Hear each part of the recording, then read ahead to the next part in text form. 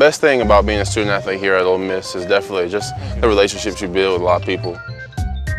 Uh, my teammates, we're all brothers. And I meet a lot of great friends uh, on campus, uh, friends that I have friends that I went to high school with here.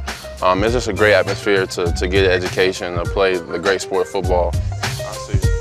It's a real blessing just being out here with a lot of great people, a lot of great atmosphere. Football season in the Grove, uh, it doesn't get any better than that. See that, that right there, that's, that's young blood, he's DN. Uh, I mean, it doesn't get any better than that, just a fun all year round.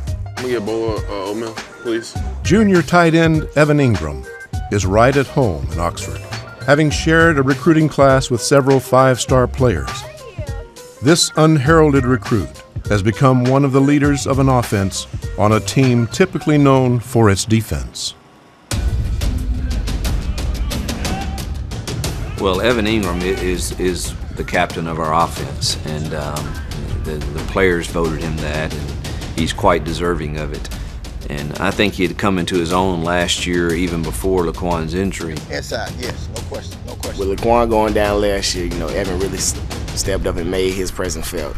But now having both of them guys back 100%, Laquon looks good. He's running good, catching well.